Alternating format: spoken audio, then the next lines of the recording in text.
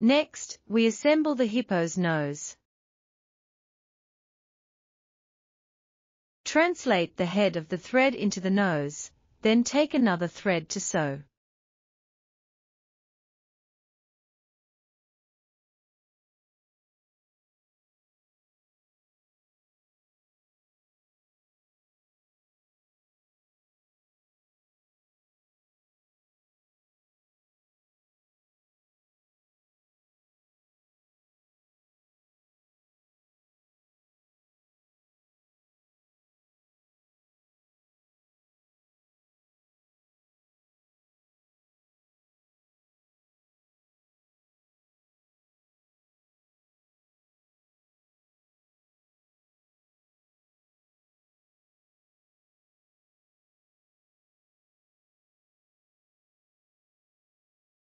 The 15th to 16th stitches of the 16th round of the nose are sewn onto the 21st to 22nd stitches of the 13th round of the head.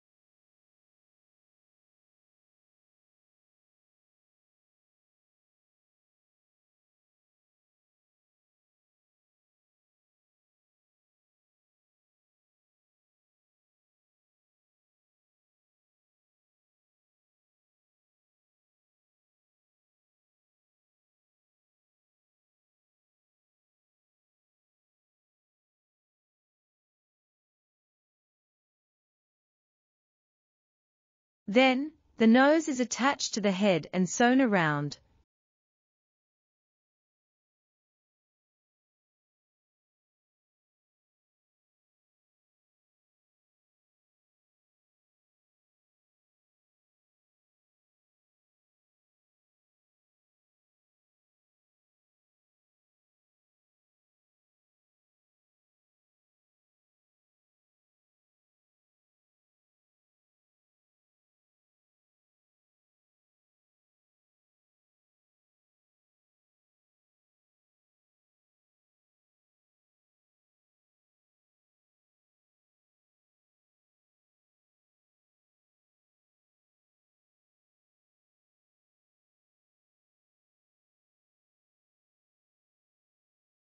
stuffing fiber fill as we go.